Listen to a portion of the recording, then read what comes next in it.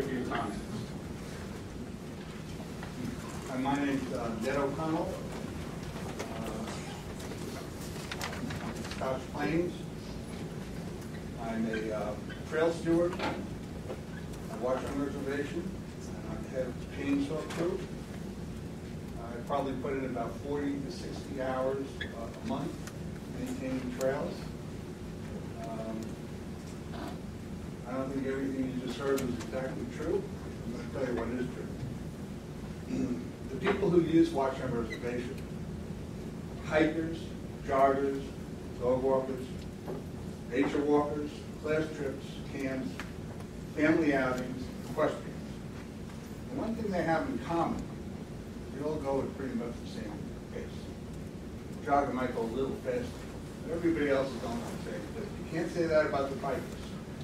Many of them do travel at a, at a regular pace, but I've seen bikers go down trails wide open, 25, 30 miles an hour. I've had to jump out of the way more than once. I, I usually tell bikers, excuse me, you can't bike up here, off limits, no bike at Watchung Reservation. That's my standard line. I've been yelled at, I've been lied to, I've been cursed at, I've been spit at, I've been menaced. Not by everybody. Many of them are very polite, but not all of them. Watchung was designed by Frederick Law Olmsted, who designed Central Park. As a walking park, at Central Park. You don't see bikes in Central Park. You shouldn't see bikes here. Most of the trails, half the trails, I should say, are very, very narrow. What happens is a biker comes up, you don't even hear him coming, and you jump out of the way. And I can have a few friends here who, who that has happened to more than once.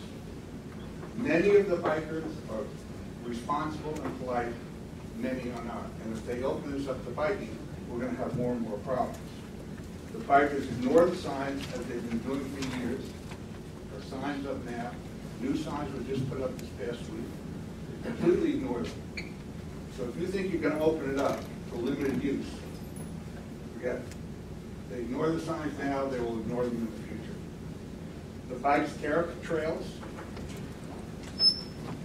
They, if we put down what we call tree cookies, on corduroy roads, that enables hikers to be able to negotiate um, puddles, bikers will move, they don't like it, because it's hard to drive them.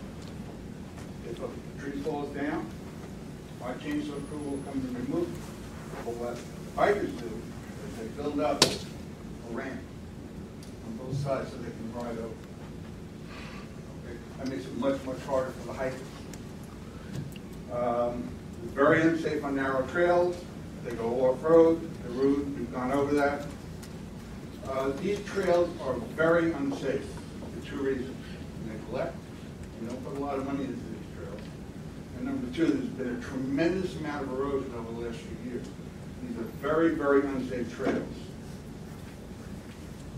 Uh, talked about Georgia. There are 21 parks in the state that allow biking.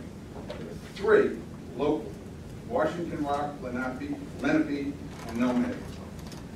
If they want to ride on a trail, they have easy access to those trails. But the biggest problem you're going to have is liability. Biker goes and has an accident, or is a hiker, sooner or later, you're going to get sued. I think that's the main reason why we should not allow biking on Watchung.